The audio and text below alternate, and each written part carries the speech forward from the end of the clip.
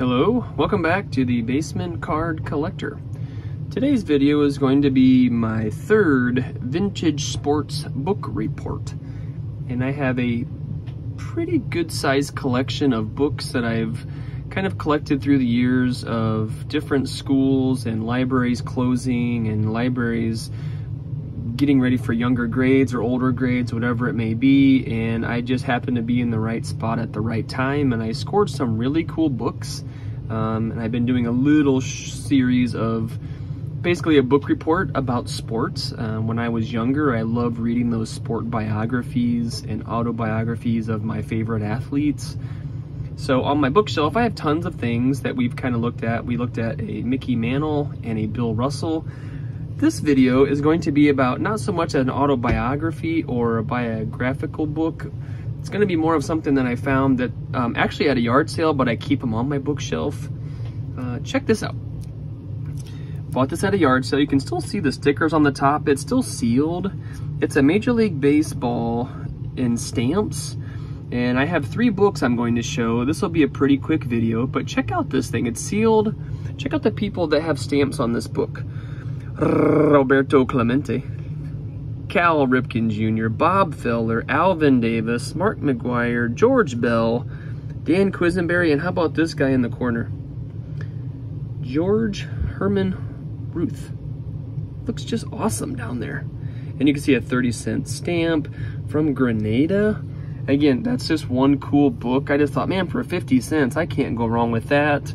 I bought this one the second book. It has a different color, but it's it's like the red version you can see.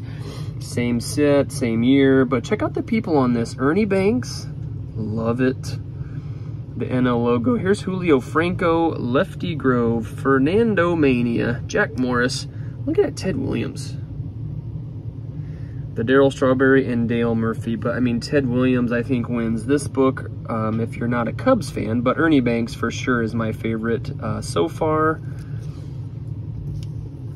And this person at the yard sale had three, three books and three sheets. This is my favorite, and I'll be honest, it was on the top, and I thought for 50 cents sold. I was going to a long time ago. I forget how long I've had these, but I thought they'd be cool to show. Um, Hall of Famer Gary Carter. Look at Big Hank. Hank Aaron. Gaylord Perry as a Mariner. Charlie Hough.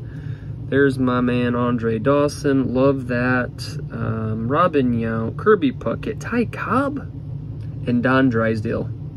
So really cool. Uh, I did get online and look and see if I could even just find these to see what in the world they are or even what year. Um, one person said 1990. Uh, some other years kind of varied, but there are two other colored sheets that I don't have. So there was a five, a five page collection in stamps from the MLB in whatever year this was. Um, and so I just thought this would be a pretty cool little video. Um, and again, I ran across them at a yard sale. I thought about uh, tearing them open and sticking the stamps in the book. And then as years have gone by, they just have lived their life on the bookshelf. So that will conclude my vintage sports book report number three.